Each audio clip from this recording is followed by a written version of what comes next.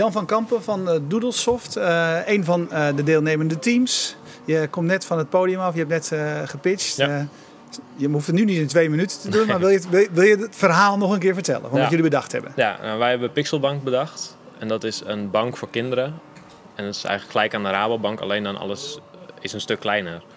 Dus je hebt geen euro's, maar je hebt pixels. Maar een euro, 1 euro is, eh, is 1 euro 1000 pixels. Dus in kleine blokjes opgedeeld. Dus het lijkt al snel veel. Ja, en dat, is ook, dat doen we omdat eh, je krijgt bijvoorbeeld rente per dag en niet per jaar. En als je een honderdste cent rente krijgt, lijkt het niks. Maar als je een paar pixels krijgt, dan is het al heel wat natuurlijk. Ja. Dus eh, ja, dit is het login-scherm. We gaan nu inloggen alsof we een kind zijn.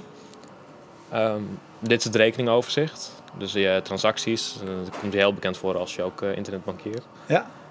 Ehm, nou, dit is een spaarrekening. En een spaarrekening is gekoppeld aan een spaardoel. Dus je kan eh, sparen. Ik had nu voor de hackathon eh, Red Bull, Muesli Reep en Deo. Dat waren de belangrijkste dingen hier. Ja, voor, dit, voor deze doelgroep Deze hackathon, ja. Ja.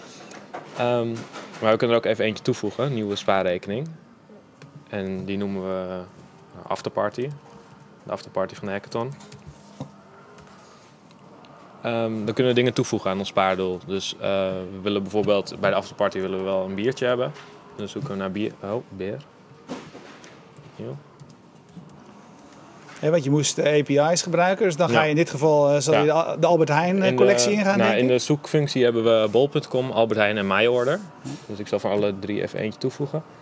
Kijk, kunnen we blikjes Amstel kunnen we toevoegen. En dan staan die in onze lijst. En dan kunnen we, we willen misschien een dvd'tje kijken. Hier op deze tv's die hier staan. En dan hapert het internet. Nou, dan kunnen we een leuk film uitzoeken. Nou, The Bridge Ja. serie voegen we toe. En eh, daarna willen we naar de bioscoop vanavond. En dan hebben we een film die heet... Of die heeft de titel Above. En dan zie je dat My Order geeft eh, de filmtickets. Dus dan kunnen we die ook toevoegen aan het totaal. En dan zie je waar je voor moet sparen. En dan kunnen we ook van onze betaalrekening een beetje geld overzetten. Dus dan doen we 1000 pixels gaan we er alvast naartoe brengen. Dan staan er 1000 pixels op die spaarrekening. Hey, en maar tel- hij telt nu niet op wat ik nodig heb, of wel?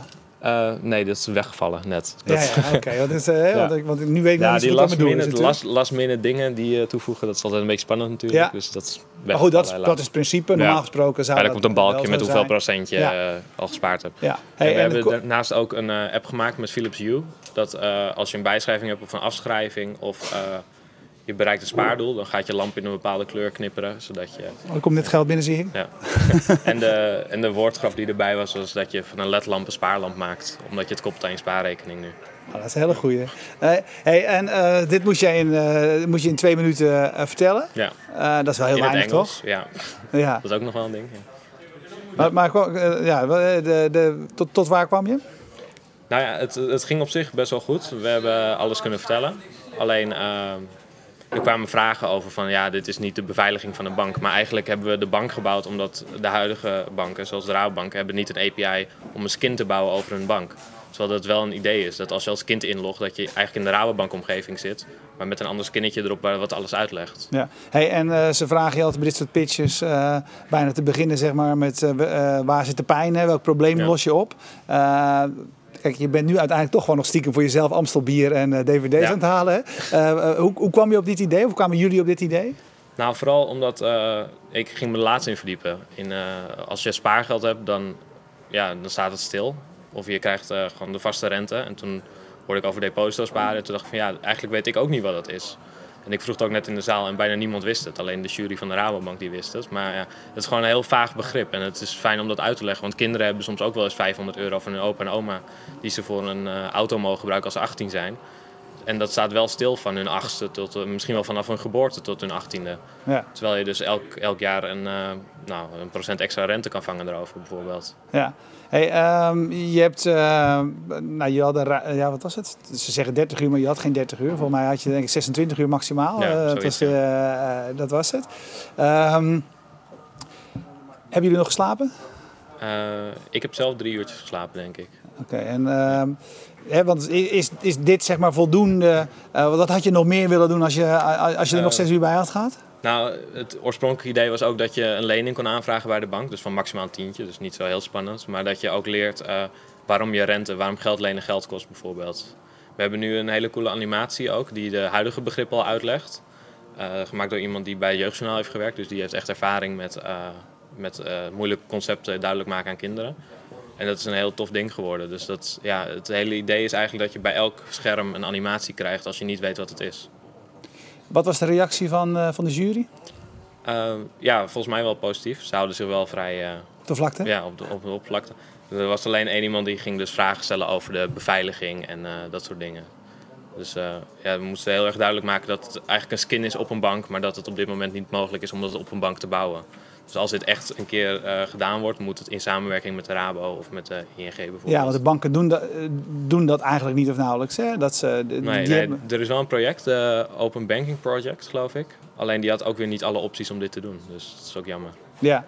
Hey, um, uh, de, de, je was hier eerder en je zei van een van de dingen is van hoe kunnen we veel API's uh, gebruiken. Welke zijn er nog een aantal afgevallen die je wel geprobeerd hebt, maar waar je toch geen, geen logisch Nee, we hebben last minute hebben we, we wilden zeven implementeren. Bol.com, Albert Heijn, MyOrder. Nou, die hebben we net gezien. Um, we hebben hier ook nog dat je geld kan verdienen. Dus als je geen geld hebt, dan uh, kun je daar zoeken. En daar hebben we onder andere Roam toegevoegd. Dus dat je ziet op basis van waar wij nu zitten, waar er nog opdrachten zijn, waar we foto's kunnen maken om geld te verdienen. Ja. Uh, we hebben Jobhunter om persoonlijke baantjes aangeboden te krijgen. Daar heb ik een profiel ingevuld en dan krijg je alleen de baantjes te zien die voor jou uh, goed zijn. En we hebben USG People. Alleen dat zijn vooral baantjes voor, uh, die hebben niet zo'n hele goede zoekfunctie. Dus er komt nu bijvoorbeeld in de kinderbank dat je vrachtwagenchauffeur kan worden. dus die, ja, die API is gewoon nog niet goed genoeg voor dit. Maar het concept is er wel, dat ze het kunnen doen. Ja. Wat denk je, maak je kans op de vandaag? Ik heb geen idee. Ik heb ook andere leuke dingen gezien. Dus, ja? ja? Wat, wat, wat voor leuks heb je zelf gezien? Uh, nou, bijvoorbeeld als je last minute op reis gaat en je hebt uh, helemaal geen spullen nog. Stel je boekt nu een vlucht voor morgen. Dat die alle spullen op basis van je locatie uh, die je nodig hebt al bij elkaar gaat zoeken bij bol.com bijvoorbeeld of Albert Heijn. Dat gaat een zwembroek als ik naar een zonnige, ja, zonnige bestemming ga. Ja. ja. of zonnebrand bijvoorbeeld bij de Albert Heijn. dat zijn wel, ja, ik vind het leuke dingen altijd. Ja. Oké, nou benieuwd. Nou, we gaan het ook uh, verder volgen. Uh, ja, hartstikke bedankt. Leuk dat je het even wilde vertellen. En uh, tot de volgende keer. Ja, dankjewel. dankjewel.